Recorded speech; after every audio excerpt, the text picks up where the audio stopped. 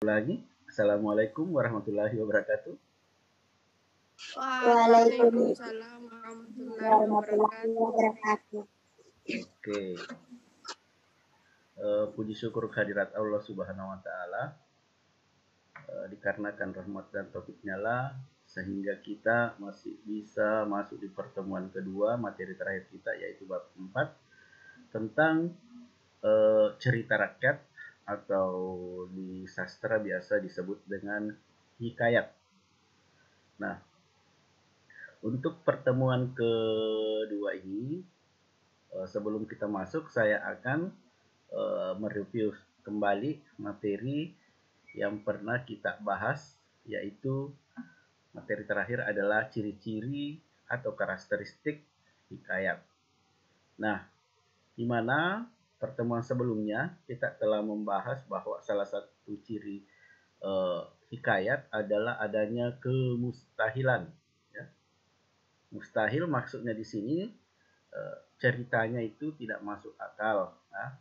susah untuk dinalar. Namun Eh, dalam ceritanya nanti kita akan bahas ada nilai-nilai yang bisa dipetik. Ciri yang kedua adalah kesaktian. Maksudnya di sini eh, tokoh atau partisipan atau orang yang terlibat atau yang disebutkan dalam ceritanya itu punya ilmu kesaktian ya. Ya yang dimaksud kesaktian ya tidak semua orang bisa punya. Entah apa itu kesaktiannya ya silahkan baca salah satu hikayat boleh yang ada di buku ataupun di internet. Kemudian yang ketiga adalah anonim. Maksudnya anonim di sini ya kalau contoh yang di video pembelajaran anonim itu diibaratkan kita masih jomblo katanya. Belum punya pacar. Jadi anonim maksudnya di sini adalah uh, cerita ini tidak ditahu siapa penceritanya, siapa yang mengarang. Ya, cerita ini biasanya turun ke murun dari masyarakat. Ya, masyarakat mempercayai bahwa cerita yang disampaikan adalah nyata dan tidak ada yang sengaja mengarang. Ya, nah, ini mengarang, tidak ditahu siapa yang mengarang. Uh, keempat istana sentris ya maksudnya istana sentris cerita yang berada dalam hikayat itu ya, rata-rata berada dalam lingkup istana atau kerajaan terus yang tidak ada di buku dijelaskan tapi pernah dijelaskan di uh, materi sebelumnya uh, yang kelima yaitu ceritanya berbingkai ya di dalam cerita itu terdapat lagi cerita. Terus ada juga yang keenam yaitu bahasa arkais. Ya, apa itu bahasa arkais? Ya, nanti saya jelaskan di buku tidak ada itu. Ya, bahasa eh, mungkin kamu susah pahami ya. Nanti kita akan temukan kok. Oke, kita masuk ke materi hari ini yaitu mengidentifikasi nilai-nilai dalam hikayat. Nilai-nilai yang dimaksud di sini bukan nilai dalam bentuk angka ya, karena ini mengatakan nilai. Uh, jadi bukan nilai dalam bentuk angka Pak berapa nilai ulangan harian tigaku uh, bukan nilai yang begitu yang dimaksud ya. Tapi nilai-nilai kehidupan. Oke. Nah coba Nur Hasan ini bisa baca kegiatan tiga supaya ada feedback mengidentifikasi nilai-nilai dalam hikayat. Hikayat banyak memiliki nilai kehidupan. Nilai-nilai kehidupan tersebut dapat berupa nilai religius, agama, moral, budaya, sosial, edukasi, pendidikan, dan estetika keindahan. Perhatikan contoh analisis nilai yang terdapat dalam hikayat Indera Bangsawan berikut. Ya, Indera Bangsawan ya. A. Nilai religius Oke, terima Dibaca kasih. dulu, ya. Ini, Pak. Uh, cukup sampai di situ, saya jelaskan dulu. Ya. Terima kasih Nur Hasani sudah membacakan.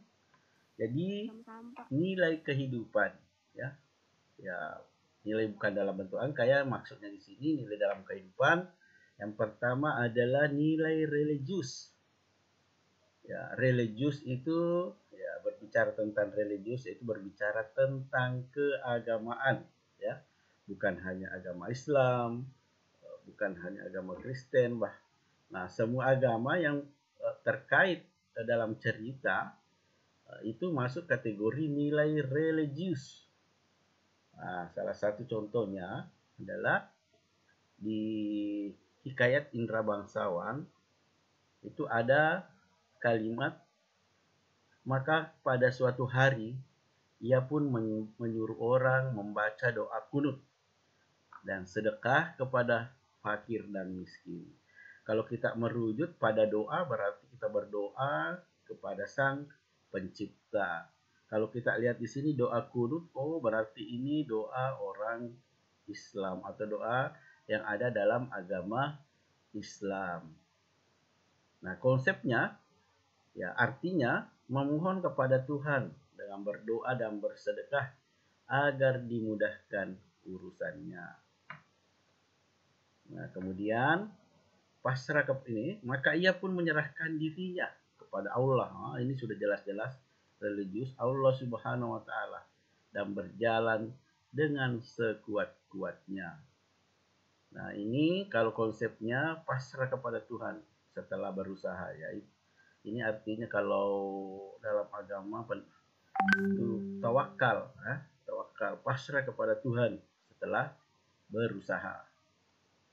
Nah, nilai berikutnya ada yang dimaksud dengan nilai sosial.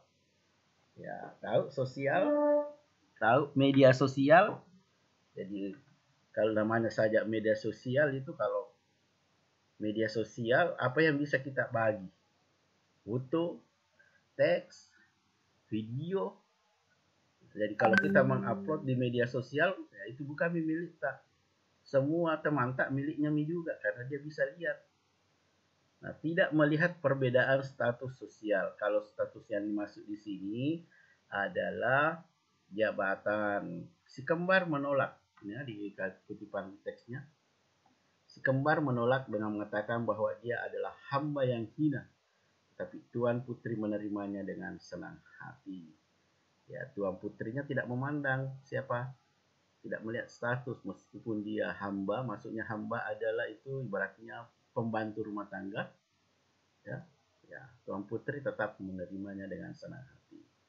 Ada lagi di kalimat dengan segera Syah Peri mengeluarkan dayang-dayang itu. Tak kala Garuda itu tak kala Garuda itu datang Garuda itu dibunuhnya nah kalau artinya ini membantu orang yang berada dalam posisi kesulitan. Kalau ceritanya di sini ada putri yang ditangkap oleh raksasa ya. Ya, siapa yang menolongnya? Ya si Indra itu tadi membantu orang yang berada dalam posisi kesulitan. Nah tadi agama sosial nah kemudian budaya.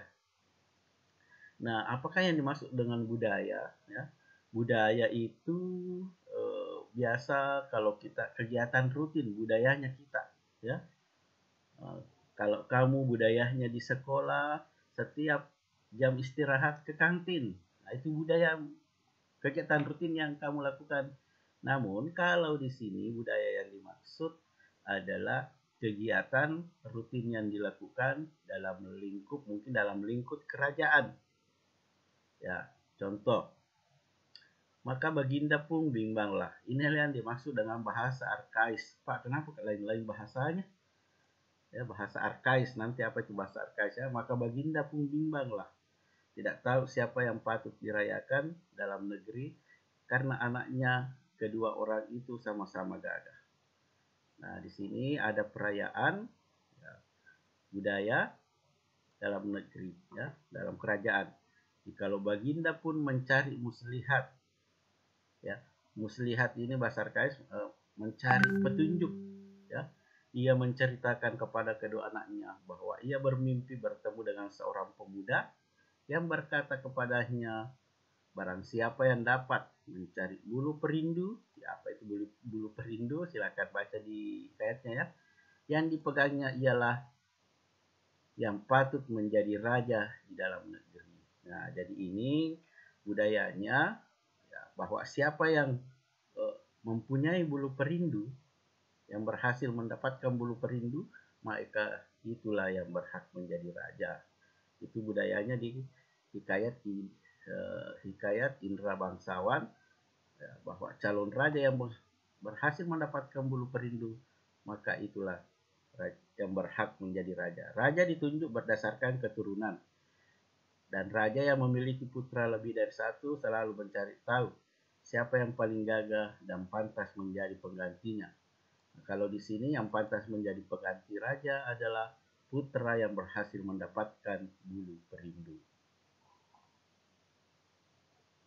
Oke. Nah, berikutnya adalah nilai moral moral itu ter, uh, berhubungan dengan sifat ya. Kalau tadi ini budaya, ya, ini sosial. Nah sekarang itu terkait dengan moral ya, moralnya bobrok sifatnya bobrok. Nah di sini ini masih bahasa arkais. Hatta datanglah sembilan orang anak raja meminta susu kambing yang disangkanya susu harimau beranak muda itu. Nah, ini tidak mau bekerja keras untuk mendapatkan sesuatu. Di sini ya, datang meminta susu tanpa mau bekerja. Ya susu kambing disangkakannya susu harimau. Nah, tidak mau bekerja keras, oh berarti ini moralnya atau sifatnya hmm, malas. Nah, berikutnya di sini Indra bangsawan berkata, susu itu akan dijual dan hanya akan diberikan kepada orang yang menyediakan pahanya diselit besi hangat. Nah, kalau ini memperdaya orang yang tidak berusaha, ya, memperbudak ini istilahnya, suruh kerja orang ya, tanpa memberikan gaji. Nah, kemudian nilai edukasi atau pendidikan. Di sini maka Ananda Baginda yang dua orang itu pun sampailah usia tujuh tahun dan dititahkan atau diperintahkan pergi mengaji kepada Mualim Sulufian. Sesudah tahu mengaji, mereka dititah pula mengaji kitab usul fikih hingga syarat tafsir sekalian diketahuinya. Nah, berarti ini ya menyuruh untuk belajar agama. Ini konsepnya kewajiban belajar ilmu agama sejak usia kecil. Berarti dia masuk dalam kategori edukasi. Nah, ada juga tadi estetika ya. Kalau e, bercerita tentang keindahan alam di cerita hikayat, ya misalnya dalam e, kalimatnya itu yang bercerita tentang uh, estetika. Ya. Misalnya, maka naiklah ke puncak bukit Calong Raja Indra Bangsawan. Di mana bukit itu ya, terdapat air terjun yang sangat menakjubkan. Ya, sesampai di air terjun, maka calon raja pun Indra Bangsawan membersihkan dirinya dan menikmati ya, sejuknya air terjun yang berada di bukit itu. Nah, itu contoh kalau bercerita tentang di buku tidak ada ya estetika atau keindahan. Ya, ini yang saya ceritakan tadi itu adalah keindahan alam. Di buku tidak dikasih contoh. Nah, sekarang jadi sebelum kita lanjut, saya ulangi kembali nilai-nilai dalam hikayat itu ada lima agama, moral, budaya, sosial, edukasi. Ya, yang ya ada lima tadi ada di buku. Nah, yang ditambah ini estetika tentang keindahan. Ingat, bukan cuma alam yang indah ya. Ya, kalau menceritakan kecantikan, Nah, menceritakan kecantikannya sang putri berarti itu masuk ke dalam estetika. Nah, sekarang kita akan kembangkan makna. Kalau kemarin itu makna, ada berapa makna? Tadi yang awal-awal saya jelaskan. Isi. Ya, ya, yang kita mau kembangkan ini pertemuan yang lalu adalah adalah isi. Bagaimana men, uh, kita mengembangkan isinya apakah isinya masih sesuai dengan uh, keadaan sekarang kemudian nilai yang yang baru saya jelaskan tadi ini? Oke uh, anugerah bisa dengar suara saya anugerah anugerah anugerah alni. Oke Tandri Oja bisa dengar suara saya? Bisa pak. Oke silahkan dibaca bagian B Disuruh kata tadi, Pak. Oh, enggak apa-apa. Tentu aja dulu. Gantian. Mengembang. Silakan tentu aja. Mengembangkan makna, isi, dan nilai hikayat. Setelah mempelajari materi ini, kamu diharapkan mampu satu mengidentifikasi nilai-nilai dalam hikayat yang masih sesuai dengan kehidupan saat ini. Dua, menjelaskan kesesuaian nilai-nilai dalam dalam hikayat da, dengan kehidupan saat ini dengan menggunakan teks eksposisi. Oke, terima kasih. Nah, di sini tadi kan kita uh, berbicara tentang nilai ya. Nilai-nilai itu ada enam. Ya, dimulai tadi dari agama, sosial, dan diakhiri tadi dengan estetika. Nah, di sini kita ingin membandingkan. Ini kan hikayat cerita rakyat, cerita yang lama. Apakah cerita rakyat ini masih nilai-nilai-nilainya itu masih ada hubungannya atau masih berlaku dengan kehidupan kita saat sekarang ini? Ya. Apakah masih ada yang berlaku atau mungkin sudah tidak ada yang berlaku? Ya. Oke masih di hikayat Indra Bangsawan. Nah, nah ini contoh nilai budaya, ya. Ya, konsepnya terdapat nilai budaya yaitu mencari menantu melalui sayembara atau lomba. Ya, nilai ini tidak sesuai lagi dengan kehidupan saat ini. Misalnya, saya mau menikah dengan Ya, misalnya putri raja. Jangan mi putri raja. Saya sebutkan saya satu saya ingin menikah dengan uh, seseorang di Sidrap. Untuk menikahinya itu ya, ternyata bukan cuma saya, ada juga orang lain yang mau. Maka diadakanlah sayembara atau lomba untuk mendapatkan gadis tersebut. Apakah masih ada seperti itu kalau mau dinikahi berlomba-lomba dulu orang? Tidak ada mito? Halo? Nur Hasani, Anugerah Tantra Wajah. Ah, ya, Pak. Ya, tidak ada mimpi Fitri atau? Ya. Tidak ada, Pak. Tidak ada mimpi sekarang. Kalau dulu di kehidupan kerajaan, ya mungkin masih ada. Nah, oke kita lihat lagi. Terdapat nilai didaktis, yaitu kewajiban untuk mempelajari berbagai bidang ilmu agama maupun ilmu dunia. Ya, nilai ini didaktis ini nilai pendidikan ya, ini ya didaktis ini masih sesuai dengan kehidupan saat ini. Sama dengan kegiatan yang kita lakukan sekarang. Kenapa kalian belajar bahasa Indonesia? Ya, untuk mengetahui perkembangan bahasa Indonesia baik dari sastranya, puisinya, teksnya, cerpennya. Ya, mungkin di kemudian hari kelak ya bisa berguna. Ya mungkin jadi guru bahasa Indonesia mungkin jadi penerjemah bahasa Indonesia mungkin jadi guide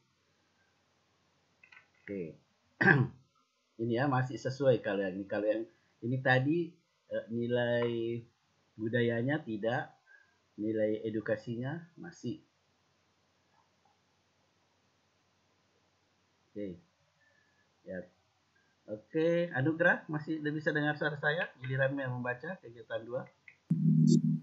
Iya Pak. Silakan. Nah itu dia bilang menjelaskan. Iya. menjelaskan kesesuaian nilai-nilai dan hikmat dengan kehidupan saat ini dalam teks eksposisi. Pada bagian terdahulu, kamu sudah mempelajari teks eksposisi, yaitu teks yang digunakan untuk menyampaikan suatu pendapat disertai dengan argumen yang mendukung. Dalam bagian ini, kamu akan belajar menjelaskan kesesuaian nilai-nilai dalam hikmah dengan kehidupan saat ini. Dengan menggunakan teks eksposisi, kamu dapat menggunakan nilai-nilai yang telah kamu identifikasi dalam kegiatan pembelajaran sebelumnya. Perhatikan contoh berikut ini. Oke. Nah, perhatikan. Pada bab 2, kita sudah belajar tentang teks eksposisi. Nah, bagaimana syaratnya atau strukturnya teks eksposisi? Yaitu pertama ada alasan argumentasi, kemudian ada rekomendasi, eh, kemudian yang terakhir ada bagian eh, apa lagi tuh penutupnya, ya. Jadi saya ulangi, ada eh, rekomendasi, ada argumentasinya, kemudian ada koda atau bagian penutup ya. Nah, sekarang kalau kita sudah dapat salah satu uh, unsur yang masih sesuai dengan kehidupan saat ini, maka kita disuruh uh, membuat sebuah wacana teks eksposisi ya. Itu kemauannya Budi Buku, tapi kita tidak usah yang penting sudah tahu bahwa nilai-nilai dalam hikayat meskipun itu cerita zaman dulu, zaman old bukan zaman Naus, ya, ternyata nilai yang ada di dalam cerita itu nilai-nilainya tadi itu ada enam, masih ada yang ternyata berfungsi seperti kehidupan saat ini. Ya, kalau sudah ditemukan, kita disuruh membuatkan sebuah karangan teks eksposisi. Nah, yang mana contohnya tadi? Ini nilai dalam hikayat, nilai didaktis atau pendidikan ya, edukasi yaitu kewajiban untuk mempelajari berbagai bidang ilmu, baik ilmu agama maupun ilmu dunia. Nah, apa betul masih sesuai dengan saat ini ya? Hingga saat ini kewajiban menuntut ilmu, baik ilmu umum maupun ilmu agama masih sangat relevan. Kemudian dibuatkanlah sebuah contoh paragraf teks eksposisi seperti ini. Ya, Ya, begitu maksudnya yang ada di dalam buku. Nah, itu pertemuan berikutnya kita masuk ke sini membandingkan nilai dan hikayat dengan cerpen. Oke. Ada yang ingin ditanyakan? Ada yang ingin ditanyakan? Kita masih berlima. Jadi, kesimpulannya hari ini, jadi saya simpulkan, uh, kita berbicara tentang nilai. Ya. Nilai yang ada di dalam hikayat itu ternyata masih ada yang sesuai dan ada juga yang tidak sesuai. Ya, kelimahnya tadi itu sudah kita bahas mulai dari religius atau agama, kemudian berpindah ke sosial, lanjut ke budaya dan moral diakhiri dengan nilai edu kasih. Oke, kalau moral berbicara tentang sifat. Kalau edukasi berbicara tentang pendidikan. Kalau budaya ya berbicara tentang kebudayaan yang berlaku pada cerita itu. Kalau sosial ya namanya juga sosial, senang berbagi. Ya status sosial kalau di sini adalah jabatan, tidak memandang status sosial. Kemudian yang pertama tadi adalah nilai religius atau agama. Oke, ada yang ingin ditanyakan? Ya, jadi perhatikan uh, untuk tugas bab 1, 2, dan 3 tidak usah dikirim di form. Cukup siap kumpul di yang ada di dalam plastiknya. Tolong kalau mau ke sekolah, kumpul tolong saya dikabari. Kalaupun ingin saya jemput di rumahnya, tolong saya di WA Pak. Saya tinggal di sini dekatnya Nagoya Fly ada itu rumah warna biru uh, di situ rumah aku pak TWA mak kalau mau datang ambil saya siap datang karena saya dalam kota juga tinggalnya ya Oke? Kalau tidak ada, silahkan nyalakan kameranya untuk saya absensi.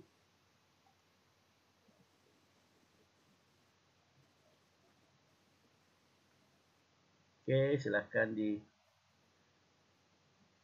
kalau mau ditutup kameranya boleh, yang penting dinyalakan saja biar namanya kelihatan.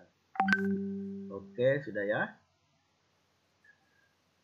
Oke, Reski, Reski. Oh, ada Reski ternyata Reski Mainaki. Oh, Reski. Oke, saya SC ya.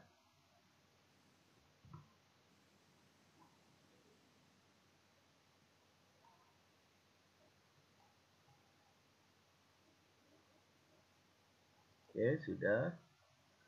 Ya, dengan ucapan alhamdulillahirabbil alamin. Pertemuan keberapa ini? 29, Pak. Pertemuan ke 20 29. 29. Saya katakan sudah selesai. Saya ucapkan terima kasih tetap kehadirannya. Saya harap di pertemuan-pertemuan berikutnya kalian masih bisa hadir. Ya. ya. Terima kasih sekali lagi. Saya ucapkan Assalamualaikum warahmatullahi wabarakatuh. Waalaikumsalam.